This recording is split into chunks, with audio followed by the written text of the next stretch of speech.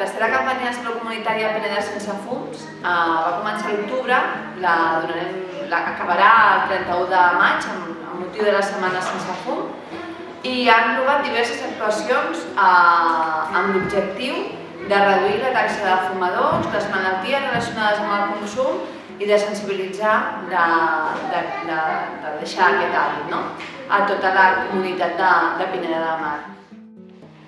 Jo faig estallers a sisè, a sisè de primària de prevenció del tabac i, i sap greu perquè molts nens t'expliquen que l'intenten, que li treuen els cigarrets dels seus pares, que els hi amaguen, que no fa més que dir-los papa no fumis, mama que és dolent, els hi passen vídeos.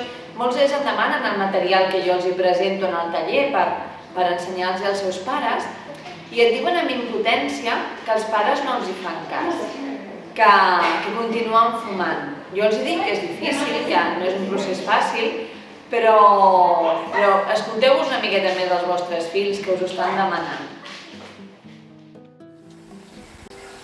Que em pots agafar, sisplau? No, com no, no pots fumar tan petita.